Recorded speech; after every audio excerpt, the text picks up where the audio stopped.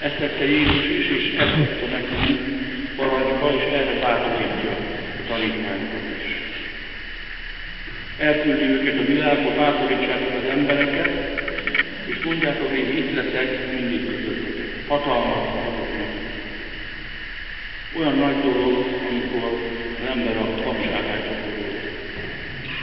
Akkor, amikor elkezdtem papi tevékenységemet, már majdnem 40 éves voltam, pontosan 39, és átvennem szenteltem kicsit korábban, mint az évtársaimnak, és a nagy dolgok nem akartam elhinni, hogy én embereket mutatok.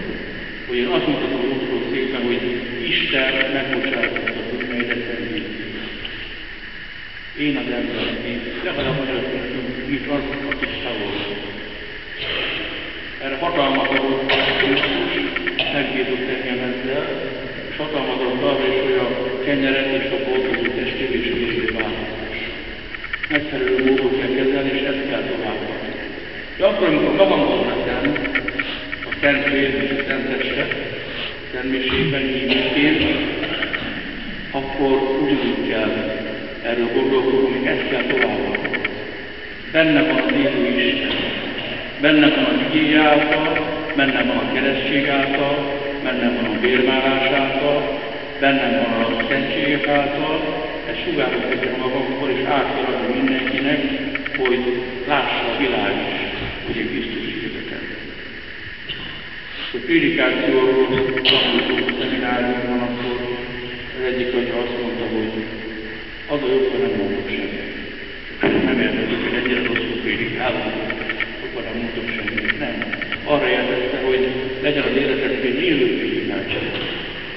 Az emberek lássák azt, hogy ti mit csináltok, hogy mit hirdettek, hirdessétek a szószékről, hirdessétek a hittanórákon, hirdessétek a gyógyítószékben, és hirdessétek az életetekkel.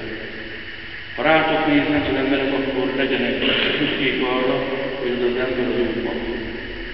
Hozzá bátran fordulhatnak, és azt kapják, amit Krisztus.